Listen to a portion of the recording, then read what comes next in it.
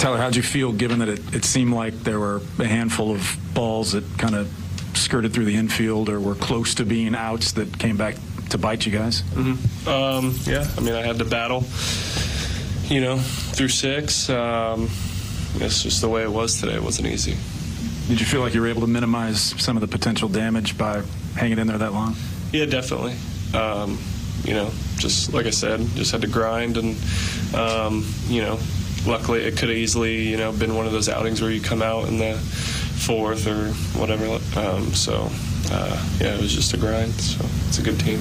Yeah, I know every start is different, but given the, the role that you've been on and knowing what you feel about the way that you're pitching right now, do you take things from this one that you can continue to work in moving forward?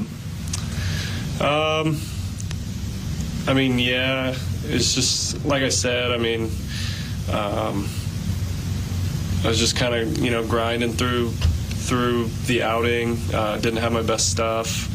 Um, felt like they were kind of um, looking for you know like they kind of knew what my game plan usually is.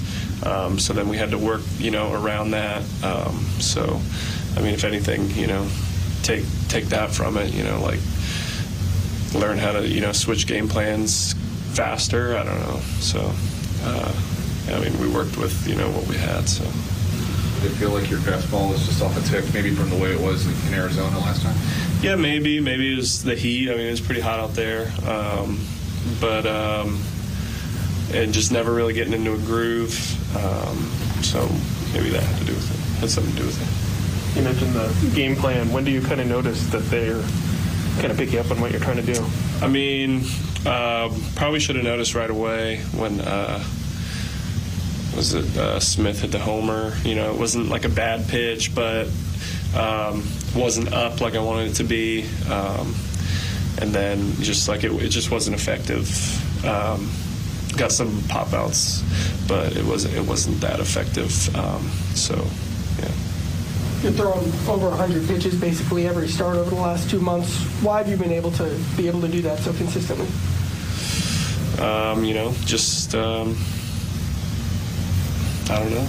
Just David's letting me, you know, go, and I'm I'm not, you know, um, giving up a ton of damage, you know, early on, so I'm able to, you know, get through uh, those innings, and um, I think.